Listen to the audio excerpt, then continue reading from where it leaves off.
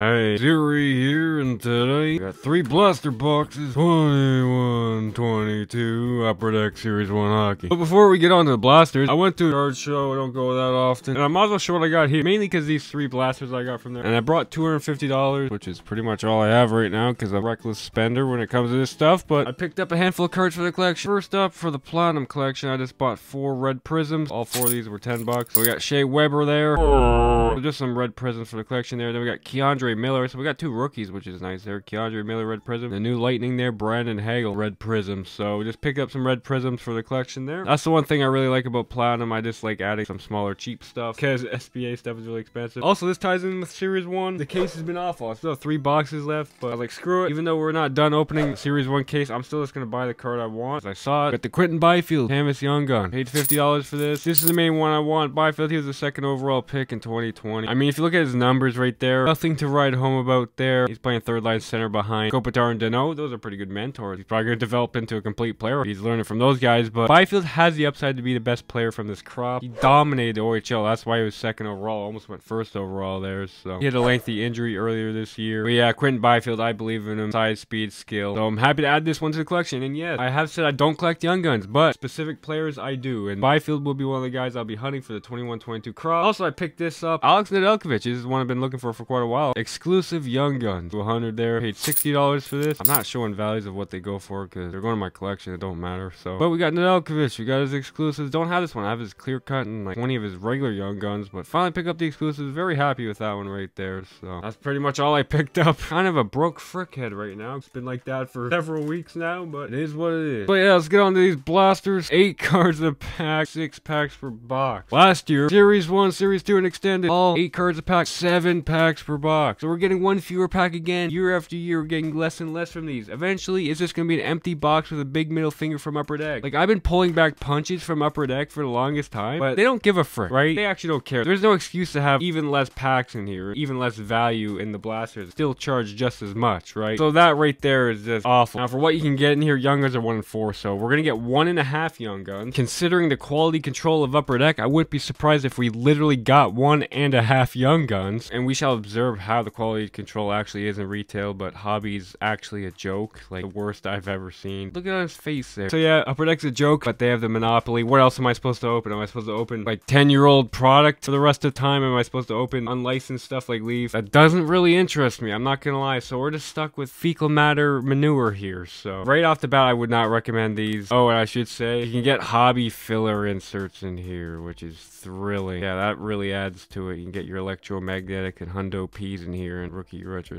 retrospective. Yay. Yeah, these cost $29 Canadian. Let's get right into it. Let's see if we can actually get anything redeeming in here. All right, first blaster. Here's a six packs here. Yeah, six packs. Also, I went to your best pals at Walmart, and well, the cards were behind glass. I guess things were getting too hostile at your best pals. So it's behind glass now. End of an era there. So I know it's been like that for quite a while now. In the U.S., I'm assuming, but in Canada, that's now a thing in some Walmarts, at least I've been to. So what do we got here? We got oh, Dazzler's green. I guess that's one good thing you can get from retail here. Where are the odds here? Oh, they're one in six, so you get one per blaster. So this is the best thing about retail here. Joe Pavelski, Dazzler's green. Nice color match there. So and more base. But yeah, watch next year. It'll be even less packs to get even less quality. It's just absolute joke. They're just mailing it in at this point. But we have anything in here, I'm pretty sure you can't get French. Obviously in retail, stuff like clear cuts and exclusives you can't get in here. So not like you can get them in hobby anyways. They produce way too much of that stuff. You even get like exclusives anymore. So that's great.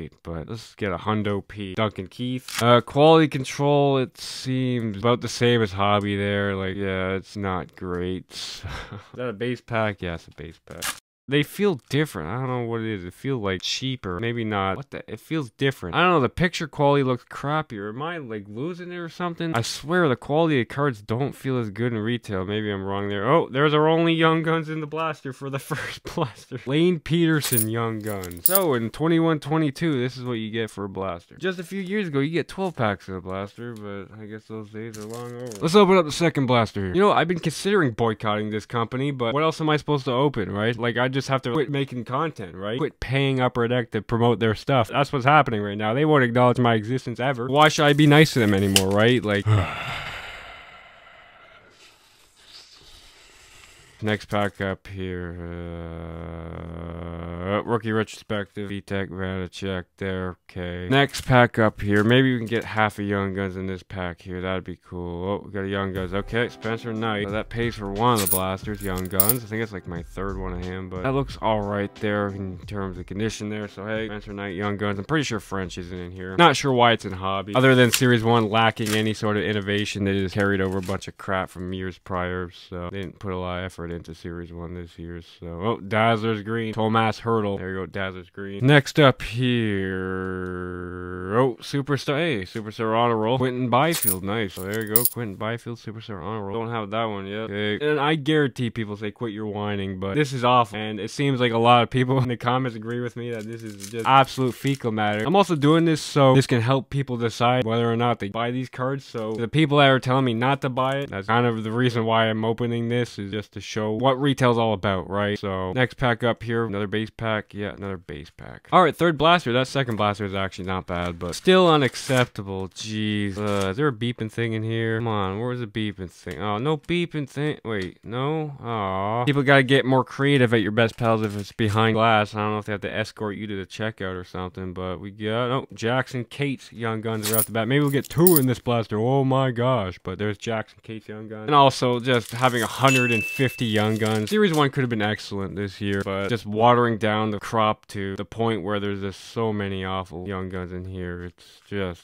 I don't have any hope for any of their future products. They're pushing all the products way back. Like, I've been waiting on SPA. I don't even know if I want to get too many boxes of that because this is going to be bad. And it's sad. It's really sad, but more base. Okay, next up here we got Rookie Retrospective, K'Andre Miller. Two more packs of retail, do not recommend this. There's obviously other retail options I'll probably check out regardless, just to see how they are, but I haven't seen tins yet, but we'll see in this final pack here. Maybe we'll get a fourth Young Guns from $90 with the blasters. No, we got Dazzler. Cam Atkinson, Dazzler's green. So yeah, guys, there's three blasters, series one. We got three total Young Guns, three total Dazzlers, and four filler inserts. Don't buy this.